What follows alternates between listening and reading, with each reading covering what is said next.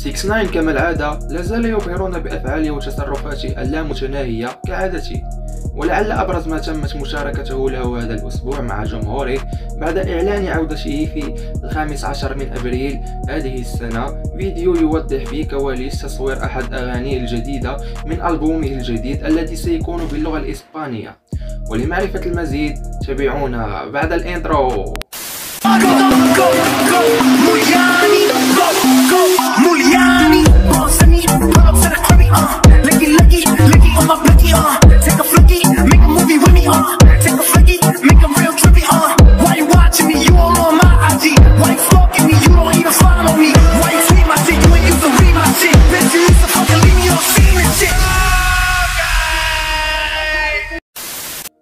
سنة 2021 توقف 6 تماما عن الغناء وتوقف عن نشر أغاني بسبب المشاكل التي حصلت له في نهاية سنة 2020 مع جميع النقاد وجميع المسؤولين الكبار في منصات الموسيقى الكبيرة والمعروفة في الولايات المتحدة الأمريكية.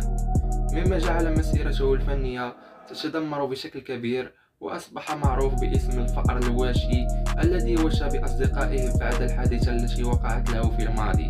عند ساعة عندما ساعد منظمة الاف بي آي للإمساك بجميع أفراد العصابة التي كان 6 ضمنها في بيع المخدرات والاعتداء الجسدي على الناس سواء الناس العادية أو مغنيين الراب الذين ينافسوه في المجال. لكن 6 اختفى لمدة طويلة تجاوزت السنة لكي يحاول إصلاح أخطائه الماضية وبدء مسيرة جديدة من جديد وتصبح له شعبية كبيرة من جديد. ويصبح, ويصبح محبوب من الجمهور كما كان في الماضي. لقد لعب على نقطة ضعف الإنسان التي تميزه. ألا وهي النسيان. النسيان يجعل الجمهور ينسى ما فعله الفنان في الماضي وهذه فعلا طبيعة طبيعة الإنسان آه، على مر العصور. ويتحمس أيضا للحظة عودته بعد اختفائه وهذا ما فعله 6 هذه المرة. لقد اختفى لفترة فترة طويلة والآن سيعود من جديد بقوة كبيرة. ال trailer الذي ظهر به 6 مؤخرا جعل مواقع التواصل الاجتماعي تنقلب كلها ويصبح 6 تريند في أمريكا من جديد. وتبين أن الجمهور لم ينسى 6 بل ربما زادت شعبيته أكثر فأكثر مقارنة بالماضي. وهذا فعلا شيء إيجابي في مسيرة 6 وتم إعلان داخل ال trailer أن الألبوم سوف ينزل هذا الأسبوع تحديدا في تاريخ 15 أبريل من هذه السنة وسيكون باللغة الإسبانية.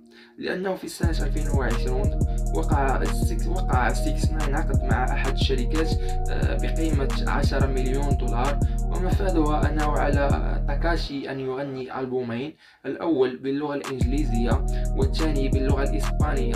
لكن 6 خالف الاتفاق ونزل ألبوم واحد فقط في سنة 2020 وتوقف لعدة أسباب أبرزها انقلاب آه، كل من كان يدعمه عليه وتمت محاربته بعدة طرق آه، لكي لا تنشهر أغاني 6 ولا يحقق نجاح أو مشاهدات على اليوتيوب. لقد أعلن 6 في الشهر السابع من سنة 2020 أنه سيطلق ألبوم جديد في تاريخ الرابع سبتمبر من نفس السنة وروج للألبوم بشكل كبير داخل أمريكا وصرف عليه مئات ألاف دولارات وجعل من نفسه أضحوك لكي ينجح ذلك الألبوم لدرجة أنه مثل أنه شخص يعتدى عليه جنسيا وينزع ملابسه الداخلية لكي ينشهر الفيديو وينشهر اللباس الذي كان يلبسه ونزع عليه آه، وكان على اللباس آه، يحمل اسم الألبوم. كل هذا لكي ينشهر ذلك الألبوم اللعين وغيرها من الأحداث الغريبة التي فعلها 6 لكي يجعل من الألبوم ينجح. لكن في الأخير فشل الألبوم بشكل كبير ولم يحقق المشاهدات التي كان من المفترض أن يحققها لدرجة أن تاكاشي 69 خرج للشارع وبدأ يوزع أسطوانات آه التي مسجل عليها الألبوم ووزع ووزع ووزعها بشكل مجاني عفوا على الناس في الشارع. فعلا 69 أحمق. على فكرة هذا الكلام الذي سأقوله الآن ليس مكتوبا. أنا أقرأه فعلا أشعر بالضحك والصدمة من هذا المغفل.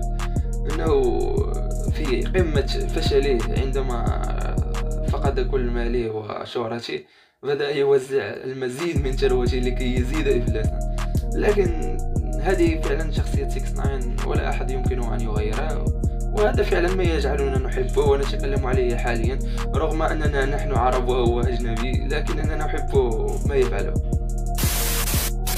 والآن 6 عندما توقفت طوال تلك المدة لكي لا يفشل كما حصل في الماضي عاد من جديد ليجعل كل الناس تشاهد وتستمع للألبوم آه الثاني آه له الذي سيكون باللغة الإسبانية وهذه المرة سوق له بتريلر واحد فقط.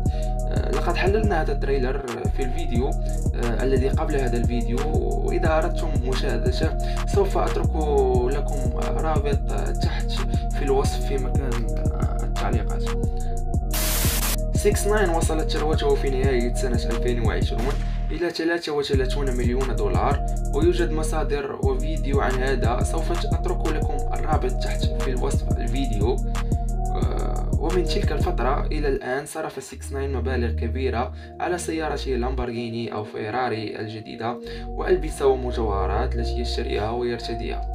ولعل أبرز ما اشتراه 6 تاكاشي هذا الأسبوع سلاسل وخواتم من الألماس والذهب بقيمة مليوني دولار. مليوني دولار هل تتخيلون الرقم؟ وسيارة خيالية فوق كل هذا. مصنوعة خصيصا له. سوف أترككم مع الفيديو لتشاهدوا ما أقوله ولكي تصدقوا أيضا ما أقوله. فعلا تاكاشي طوال أزيد من سنة كان يصرف مبالغ ضخمة ولا ينتج ولا يربح أموال إضافية.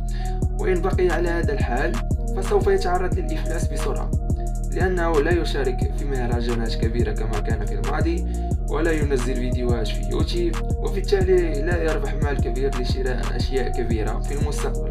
وأمله الوحيد يعني يسترجع تلك الثروة التي كانت عنده في الماضي هو إصدار ألبوم جديد بالإسبانية لتحقيق نجاح كبير كما هو متوقع. وربما من بين الأغاني التي في الألبوم ستنجح أغنية وتحقق مشاهدات عالية لما لا مثل ديسباسيتو أو قريبة منها أو تفوت حاجز المليار مشاهدة في أقل من سنة. 6 فعلا يمكنه تحقيق مثل تاكاشي وصلت قناته إلى أزيد من 20 مليون مشترك بدون أن ينزل أغاني جديدة. دامت لمدة أزيد من سنة وفعلا هذا الرقم ضخم جدا. وليس من المنطقي أن لا تنزل أغاني جديدة وتحصل على هذه النسبة من المشتركين لكن 6 كسر المنطق من جديد وحصد هذا الرقم الكبير بسبب شعبيته التي لا تتوقف أبدا وتزيد يوما بعد يوم. حتى لو توقف توقف ذهب للسجن أو خروج إشاعات أنه اعتزل أو لا قدر الله خروج إشاعات أنه مات. فعلا 6 يحقق مثل هذه الأرقام وهو لا يفعل أي شيء. لأنه فعلا لديه كاريزما وحضور يجعله شخصا مميزا مقارنة بباقي مغنيين الراب عبر التاريخ. والآن سوف نتحدث وأشارك معكم الإشاعات التي ظهرت مؤخرا بعد أن أصدر سيك 9 تريلر الخاص به لعودته. إلى أن 6 عاد فقط ليحقق ثروة من هذا الألبوم الذي سيكون بالإسبانيا ويحقق مبيعات للملابس التي يبيعها وسوف يختفي مجددا بعد الألبوم إلى أجل غير مسمى حتى يشعر أن ثروته بدأت تنقص بشكل كبير مرة مرة أخرى وسوف يعود من جديد ليجمع مال جديد ليغطي به مصاريفه الضخمة التي يصرفها على الأشياء التافهة كعادته. وقيل أيضا أن 6 يريد أن أن يتفرغ في فصل الصيف أي فترة زواجه من صديقته الجديدة. التي أعلن سابقا أنه سيطلق زوجته السابقة ويتزوج صديقته الجديدة وهو سيحتاج لفترة يبتعد فيها عن أضواء الكاميرات ليعيش حياته الخاصة بهدوء في هدوء هناك. وعندما سينفذ ماله من جديد سيعود من جديد إلى الغناء. وهذه هي حياة 6 وهذه هي حياتنا نحن كجمهور نتابعه في كل شيء يفعله مثل يمكن أن نقول متحمسون لما يفعله. هذا ما يمكن أن نقول على أنفسنا. كانت هذه كل التكهنات والتوقعات وآخر أخبار أو الإشاعات التي ظهرت عن تاكاشي 69 في الفترة الأخيرة. وفعلا هو الآن يسبب ضجة على مواقع التواصل الاجتماعي سواء آه، في الإنستغرام أو تويتر أو قنوات أجنبية في يوتيوب.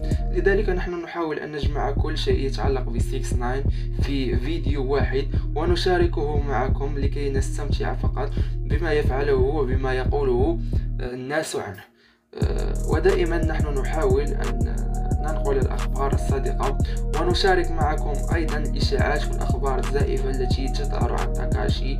كل هذا لكي آه، آه، تفهم الأخبار من جميع الزوايا وتحكموا أنتم بأنفسكم عن الأخبار الصادقة من الزائفة. وفي النهاية نحن نستمتع فقط بهذه الأخبار وهذا كل شيء.